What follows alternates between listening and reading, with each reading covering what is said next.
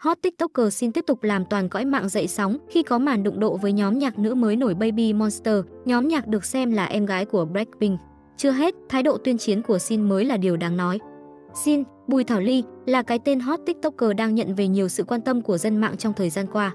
Hoạt động TikTok với thái độ nghiêm túc, đầu tư chuyên nghiệp, Sin sau thời gian nỗ lực và không ngừng phát triển. Giờ đây cô đã chễm trệ bước vào hàng ngũ những tiktoker có độ phủ sóng và tầm ảnh hưởng bậc nhất ở Việt Nam. Sở hữu kênh TikTok với hơn 14 triệu người theo dõi, xin nằm trong top đầu TikToker có số người follow khủng. Cũng chính vì thế, mỗi clip cô nàng đăng tải đều thu hút hàng triệu lượt xem, hàng trăm nghìn lượt tương tác. Mới đây, xin lại một lần nữa làm người hâm mộ dậy sóng khi có clip đụng độ với nhóm nhạc nữ mới debut, được xem là em gái của Blackpink, nhóm Baby Monster.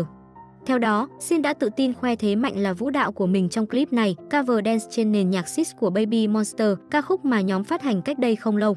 Ngay lập tức, clip của Sin đã thu về hơn 1 triệu views chỉ sau vài giờ phát hành, gần 150.000 lượt tương tác, một con số siêu khủng mà không phải TikToker nào cũng đạt được.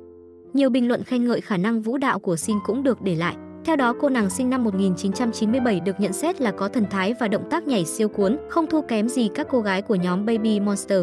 Một số fan còn nhận định Sin rất có tiềm năng nếu phát triển thị trường K-pop bởi nếu so với những nghệ sĩ thần tượng ở xứ sở Kim Chi thì Sin cũng 19110, ngang ngửa với nhau.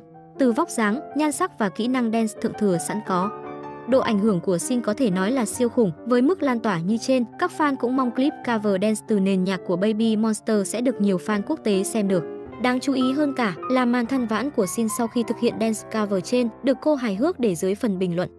Theo đó, Sin tiết lộ với fan rằng cả người đã phải ê ẩm sau khi nhảy xong ca khúc này. Cô viết, nhảy xong ê hề cả người luôn, lâu rồi không vận động mạnh. Ngoài ra, các fan của cô còn bóc thêm chuyện xin chỉ cần 5 phút để học thuộc động tác, sau đó quay clip. Thông tin này được biết cô chia sẻ trên livestream mới đây. Với sự nhạy động tác như trên, chỉ học trong thời gian ngắn nhưng xin trình diễn siêu cuốn, ai xem clip cũng đánh giá cao cô.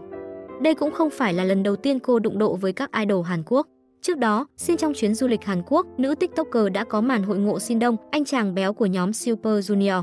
Chưa hết, Sinh còn kết hợp trong vài clip gần đây cùng với TikToker người Hàn Sia Jiu, người được mệnh danh là chị em sinh đôi với Jennie. Cách đây không lâu, Sinh còn khiến fan tò mò, dần dần trước thông tin cô khoe bạn trai nhưng che giấu danh tính. Đoạn clip khóa môi cực tình giữa cô với bạn trai đã thu hút hàng triệu lượt xem.